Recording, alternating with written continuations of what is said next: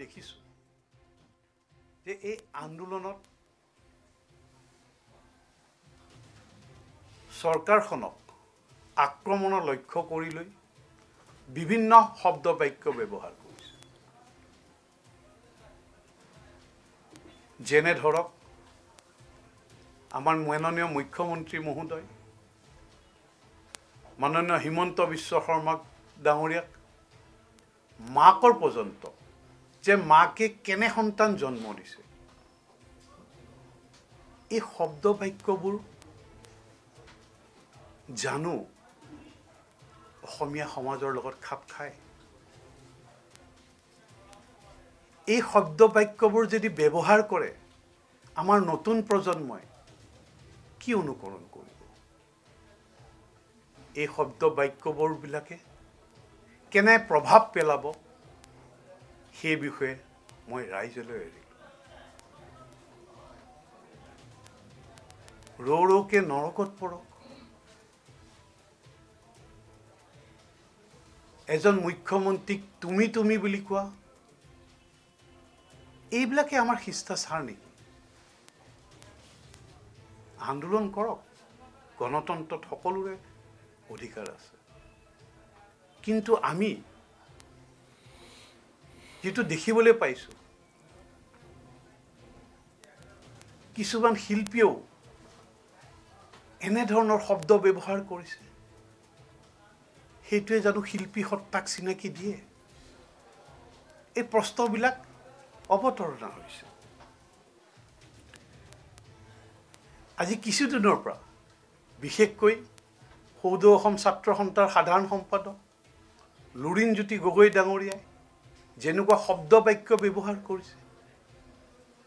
সেই শব্দ বাক্যবিলাকে অনাগত দিনত সমাজখনত কি প্ৰভাৱ পেলাব? এই কথা মই অসমৰ ৰাইজলৈ এৰিলোঁ। লুৰিণজ্যোতি গগৈ ডাঙৰীয়াক অসমৰ সহজ সৰল মৰমীয়াল আইতাকেইগৰাকীয়ে মুখমণ্ডলত উপৰি পৰ্যায় চুমা খাইছে। তেওঁৰ পকেটত কমলা গুজি দিছে মৰ্টন দিছে। তেওঁক আশীৰ্বাদ দিছে। নিভাজ অন্তৰৰ পৰা তেওঁলোকে আশীৰ্বাদ দিছে। আৰু এই গোটেই বস্তু বিষয়বস্তু বিদেশী বিতাৰৰ আন্দোলনৰ পিছত প্ৰথমবাৰ দেখিবলৈ পাইছোঁ।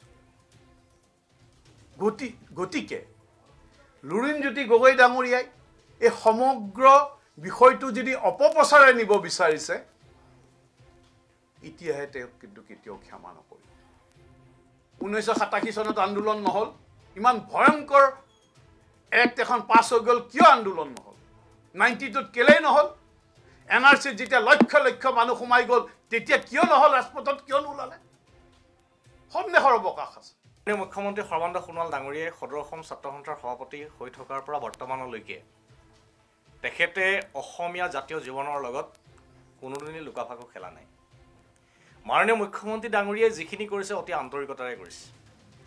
মাননীয় মুখ্যমন্ত্ৰী ডাঙৰীয়াৰ জীৱনটো অসমৰ জাতীয় জীৱনৰ প্ৰতি সমৰ্পিত। আৰু মাননীয় মুখ্যমন্ত্ৰী ডাঙৰীয়াৰ প্ৰতি সন্দেহৰ আঙুলি যিসকলে টোৱাইছে তেখেতসকলক কওঁ যে মুখ্যমন্ত্ৰী হিচাপে শপত গ্ৰহণ কৰাৰ দিনাৰ পৰা আজিলৈকে মাননীয় মুখ্যমন্ত্ৰী ডাঙৰীয়াই যিখিনি কাম কৰিছে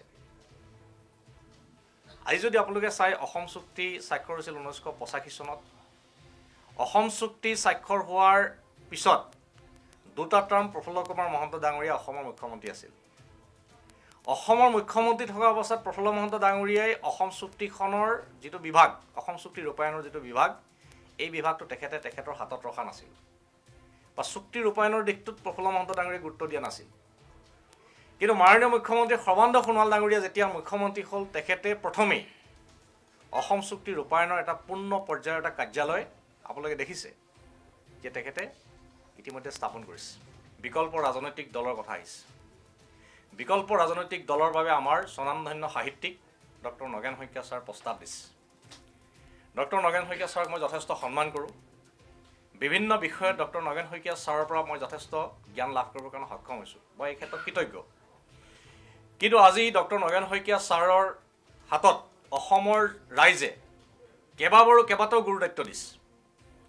ঊনৈছশ পঁচাশী চনত যেতিয়া অসম গণ পৰিষদ দল প্ৰথম ক্ষমতালৈ আহিছিল তেখেতে লোকসভাৰ নিৰ্বাচনত ডিব্ৰুগড় যেতিয়া পৰাজিত হৈছিল পৰৱৰ্তী সময়ত তেখেতক ৰাজ্যসভাৰ সাংসদ হিচাপে নিৰ্বাচিত কৰিছিল। আৰু ঊনৈছশ সাতাশী চনৰ যিটো চিটিজেনশ্বিপ এমেণ্ডমেণ্ট যেতিয়া হ'ল তেতিয়া যেতিয়া কেব আহিল যেতিয়া চিটিজেনশ্বিপ এমেণ্ডমেণ্ট বিলখন যেতিয়া আহিল এইটি ছিক্সত সেই সময়ত ৰাজ্যসভাৰ সাংসদ হিচাপে ডক্টৰ নগেন শইকীয়া ছাৰ আছিল। প্ৰতিবাদ ছাৰে নকৰিলে। অসমৰ ৰাইজক নজনালেও। আৰু নাজানো বা গম নাপালোঁ বুলি যদি ছাৰে যদি আজি ষ্টেটমেণ্ট দিয়ে সেই কথাটো কিন্তু গ্ৰহণযোগ্য নহ'ব। ঊনৈছশ বিৰান্নব্বৈ চনত যেতিয়া চিটিজেনশ্বিপ এক্ট এমেণ্ডমেণ্ট হৈছে সেই সময়তো তেখেতসকল গুৰুত্বপূৰ্ণ দায়িত্বত আছিল। আৰু শেহতীয়াকৈ আমাৰ মাননীয় মুখ্যমন্ত্ৰী ডাঙৰীয়াই যেতিয়া অসম চুক্তি ছয় নং দফা কাৰ্যকৰী কৰাৰ কাৰণে কেন্দ্ৰীয় চৰকাৰে যিখন কমিটি নটিফাই কৰিছিল তাতো ডক্টৰ নগেন শইকীয়া ছাৰক অসমীয়া জাতীয় জীৱনক সুৰক্ষা কৰাৰ কাৰণে অসমীয়া জাতিক ৰক্ষা কৱচৰ কাৰণে এই ছয় নং দফাৰ কাৰ্যকৰীকৰণৰ যিখন কমিটি এই কমিটিখনত তেখেতক সদস্য হিচাপে নিয়োজিত কৰিছিল।